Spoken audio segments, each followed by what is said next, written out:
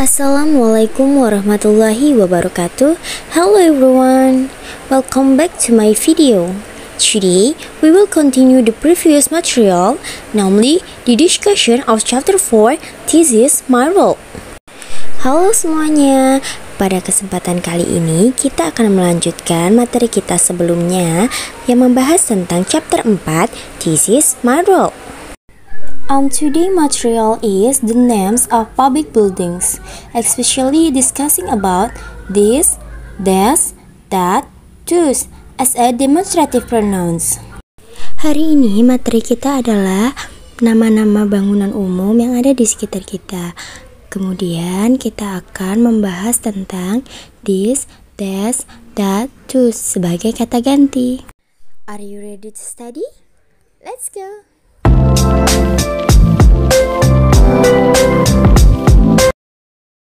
Before continue with the material, we must know what is demonstrative pronoun. Sebelum kita melanjutkan materi selanjutnya, kita harus tahu dulu apa itu demonstrative pronoun. Demonstrative pronoun merupakan kata ganti penunjuk yang tergolong ke dalam definite pronoun, di mana kita sudah mengetahui sesuatu yang digantikan dengan jelas. Pada umumnya, kata benda yang digantikan adalah berupa benda, orang, ataupun hal lain. Dalam bahasa Indonesia, hanya ada dua kata demonstratif pronoun yang hanya dipengaruhi dari jarak benda dari kita. Kata ganti dari demonstratif pronoun dalam bahasa Indonesia adalah ini yang berarti jarak dekat dan itu yang berarti jarak jauh. Sedangkan di dalam bahasa Inggris menggunakan kata this, that, that, dan those.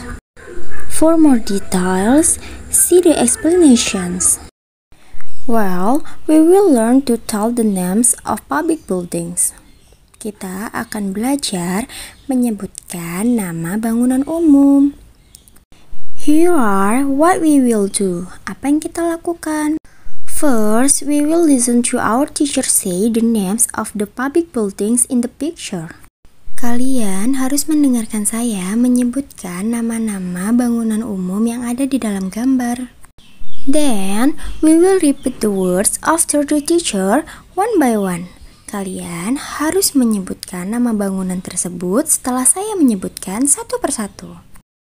Okay, are you ready? Look at the picture. Lihat gambar ini. This is a picture of a public buildings. Ini adalah gambar bangunan-bangunan umum. Look at the first picture. What is that? Gambar apa itu? Ya, bank, tempat menyimpan duit. How to say the name of the picture? Bagaimana kita menyebutkan nama bangunan itu? We can say this is a bank. Kita dapat menyebutnya this is a bank. Ini adalah bank. Next, this is tax office. Ini adalah gedung pajak. This is post office. Ini adalah kantor pos. The next picture, this is hospital. Ini adalah rumah sakit. Okay, next, this is a school. Ini adalah sekolah. This is police station. Ini adalah kantor polisi. Oke, dari tadi saya sudah menyebutkan nama-nama bangunan umum. Ada bank, tax office, post office, hospital, school, dan police station. Jadi yang perlu kalian perhatikan di sini adalah this is, penggunaan kata this is. This is berarti ini. This merupakan demonstrative pronoun.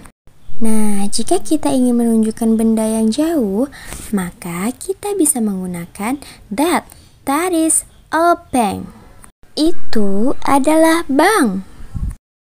Di sini kita perlu membedakan this artinya ini berarti dekat dengan kita, sedangkan that adalah itu jauh dari kita this and that as a demonstrative pronoun yang dipergunakan untuk menunjukkan jarak.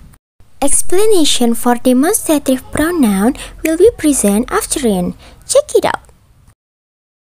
This dan this memiliki arti sama yaitu ini. Bedanya adalah this digunakan untuk benda tunggal atau singular dan this dipergunakan untuk benda jamak atau plural.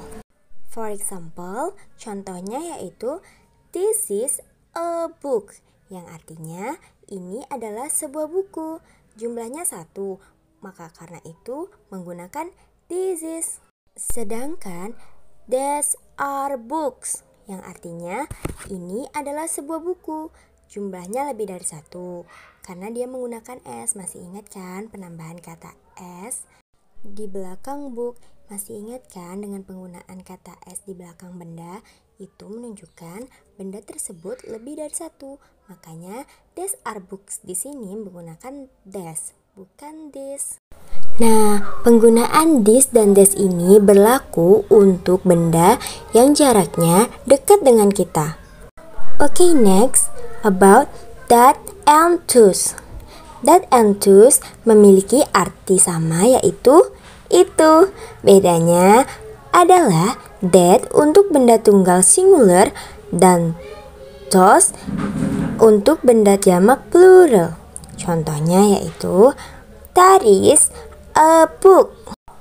Bukunya jumlahnya satu, jadi menggunakan that is. Selanjutnya, Those are books, yang artinya itu adalah buku. Jumlahnya lebih dari satu. Tadi kan sudah dibahas penggunaan s di belakang book menandakan buku itu lebih dari satu. Maka dari itu dia menggunakan those. Jika tadi this dan des digunakan untuk benda yang dekat dengan kita, lain halnya dengan and those digunakan untuk benda yang jaraknya jauh dari kita. Bisa disimak ya tabel yang berada dalam video ini. Semoga kalian mengerti. I will give you more example.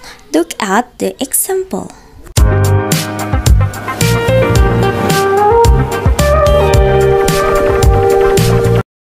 Now, we will learn to tell the location of the public buildings. Sekarang kita akan belajar menyebutkan lokasi dari bangunan umum. Look at the conversation.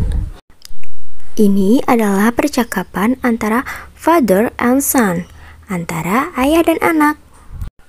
Do you see this building on the left?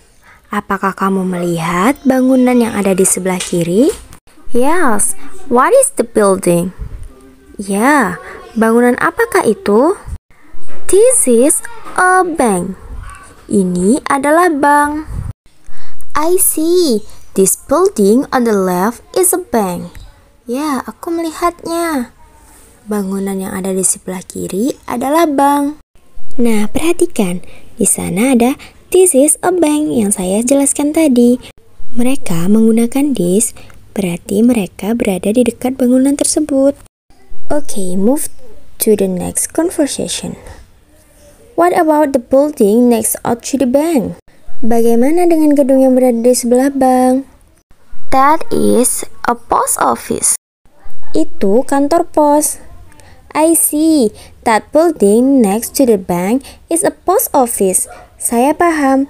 Gedung yang berada di sebelah bank itu merupakan kantor pos. Right, the bank and the post office are next to each other. Benar, bank dan kantor pos berada bersebelahan. Perhatikan, that is a post office. That berarti gedung itu jauh dari sang ayah. Next, we will learn to tell location of the public buildings. Here are what we will do. It is again about the same buildings in the picture above. First, we will plan what to say about each building in our notebooks, like the example. Tell location of the public buildings. Look at the picture. Diperhatikan ya letak-letak bangunannya. Setelah itu, kita akan menyebutkan letak dari masing-masing bangunan tersebut. The bank is on the left. Bank berada di sebelah kiri. Next to the post office. Berada di sebelah kantor pos. Across from the tax office. Berada di seberang kantor pajak. The post office is next to the bank. Kantor pos berada setelah. Across from the tax office berada di seberang kantor pajak. Okay, I think enough. I hope useful for us. See you on the next video.